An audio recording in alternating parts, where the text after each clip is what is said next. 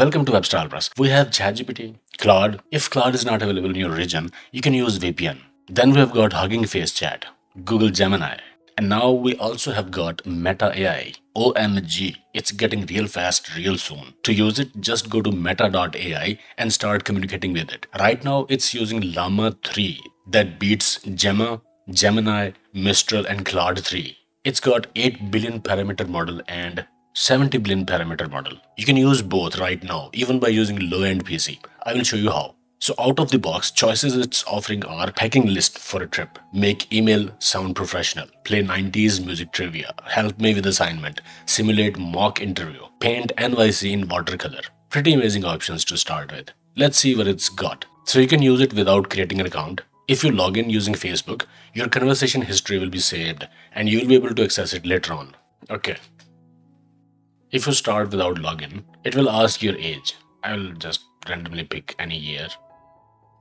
It seems to be fast. Hello, it's nice to meet you. I'm Meta AI, your friendly AI assistant. I'm here to help you with any questions or tasks you have.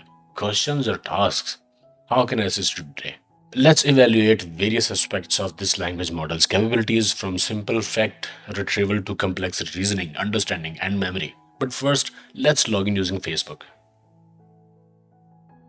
Alright, I don't see UI related options here or model related options here, but it's alright. Let's start new conversation. Okay, here is a factual question.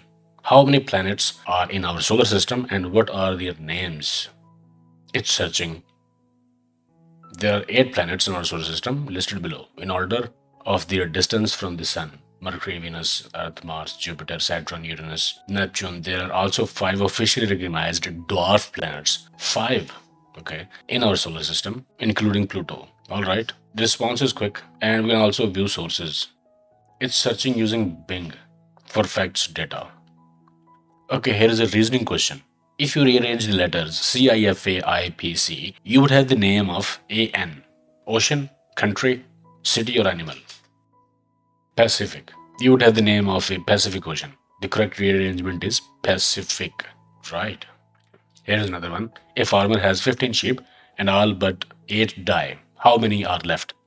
The answer is 8, of course. The phrase all but 8 die means that 8 sheep survive while the rest die. So the farmer has 8 sheep left. Alright, here is another reasoning question. If it takes 5 machines 5 minutes to make 5 widgets, how long would it take 100 machines to make 100 widgets? If five machines can make five widgets in five minutes, then one machine can make one widget in five minutes. So the answer is still five minutes. All right. Here is a language understanding question. What does the phrase, it's raining cats and dogs mean? It's a common expression that means it's raining very heavily. Okay. Interpret the metaphor. He has a heart of stone. It means that somebody is emotionally cold, emotionally numb, lacking empathy, uncaring, unresponsive, cold hearted. Oh, I'm impressed by the reasoning. Explain the difference in meaning between they saw a deer crossing the road and they saw a deer when they were crossing the road. Two sentences have different meanings due to the placement of the phrase crossing the road. Sentence 1. Here crossing the road describes the action of the deer.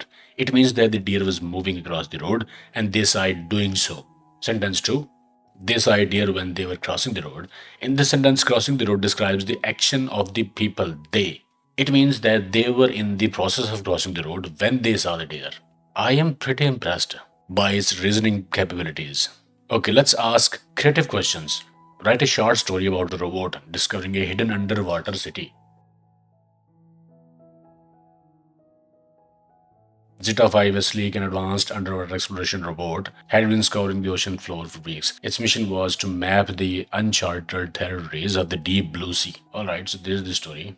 And at the end, its digital heart forever changed by the secrets it uncovered beneath the waves. Amazing. Okay. Create a dialogue between a time traveler from 19th century and a person from the 22nd century discussing technology.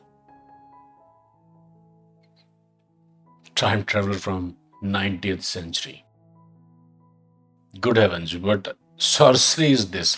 You carry a small glass window in your hand and it shows moving images and words. Person from 22nd century laughs. Ah, this is just my smartphone. It's a device that lets me communicate, access information, and capture moments from my life. And so on.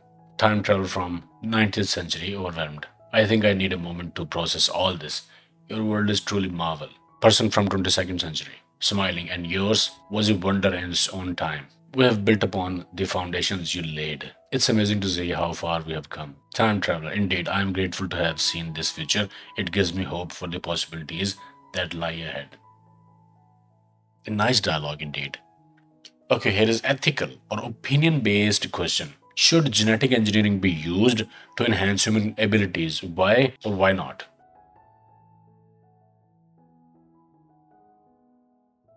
Genetic engineering should be used for improved health, enhanced cognition, physical enhancement, and against. So it is presenting both point of views. Against because unethical tampering, inequality and excess, unpredictable consequences, ethical considerations.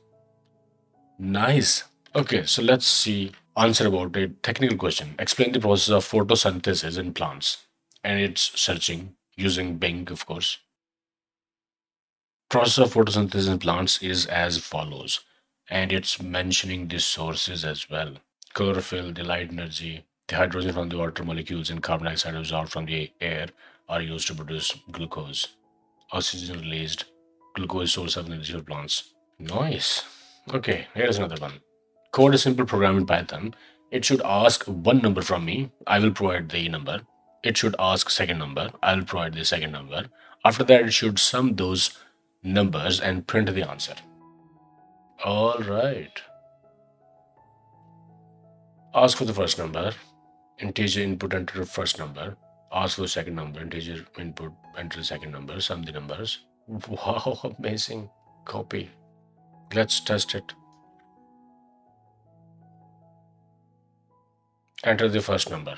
4. Enter the second number. 9. The sum is 13. Nice, nice, nice, nice, nice. Amazing. Good. And it's also explaining the process. So it can code as well. Let's ask continuity and memory based question. Recall the short story you created about the robot. What was the main challenge the robot faced in the underwater city? The robot Zeta 5, it remembers its name, didn't really face a challenge in the underwater city of Aquaria. Instead, it was more of a discovery and exploration journey.